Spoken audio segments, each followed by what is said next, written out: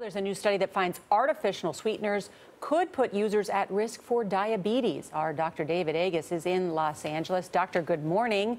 All right, there's artificial sweeteners in yogurt, there's artificial sweeteners in your Diet Coke, and a lot of people like us put it in our, our tea. What does this study find?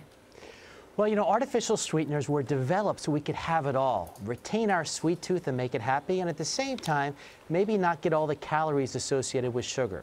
And what this study showed is that if you take it on a regular basis, first in mice and then in humans, it actually makes it much harder to control your sugar, which is equivalent to diabetes. But what's really profound about this study and taught me a lot is that it's not doing so by a regular mechanism, it's changing the bacteria Yep. in our GI tract. So if you take bacteria from someone who was fed artificial sweeteners, a human, and put it in a mouse, that mouse will develop diabetes. Really amazing observation. So the results are a big surprise to the medical community?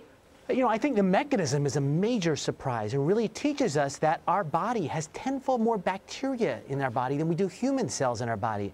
And they're such an important part of us. And it also tells us that these simple ways to satisfy our cravings in the end may cause problems and we need to pay attention. I know I'm stopping and telling my family to stop taking these artificial sweeteners now. I say stop. I can't get over the aftertaste of artificial sweeteners. I still feel that, but mm. okay.